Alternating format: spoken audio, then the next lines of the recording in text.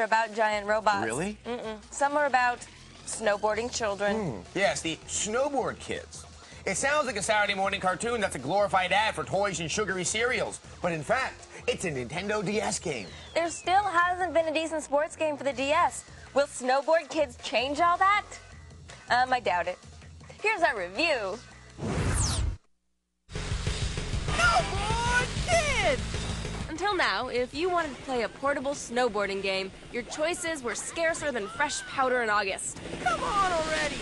Well, Snowboard Kids DS for the Nintendo DS is here to change that. Yeah, jackpot! This sequel to the popular Nintendo 64 franchise is an unholy combination of Mario Kart and SSX. But sadly, the results are less than steezy. It blows!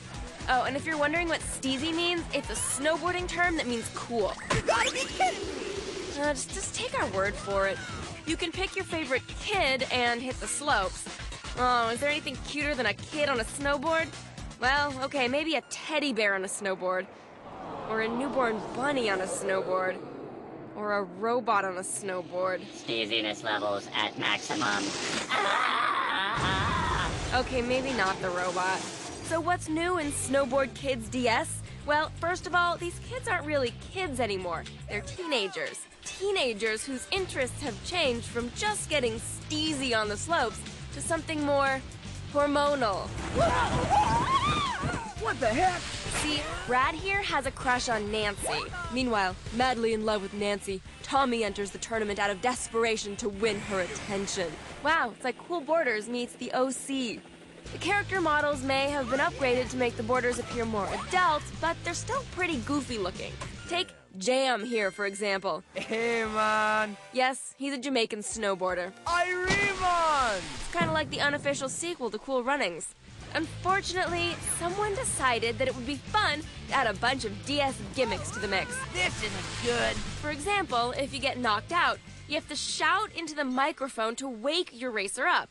It's a fun idea, but in reality, you'll just look like a crazy person screaming into your handheld. Plus, the game sometimes requires you to tap the bottom touchscreen to get back on course. It's incredibly distracting and usually just causes major smash ups. Ouch. Come on already! Despite the lack of analog control, the steering feels tight. Oh, yeah!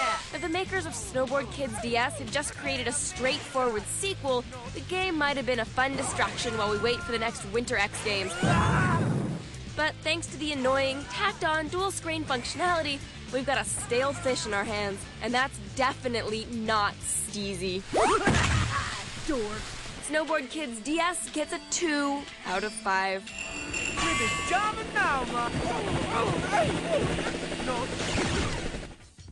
That was just like Cool Runnings, mm-hmm. except for the bobsled. Going giant candy. Now, the best DS games, they find fun ways to use the stylus. This is not fun. It's annoying.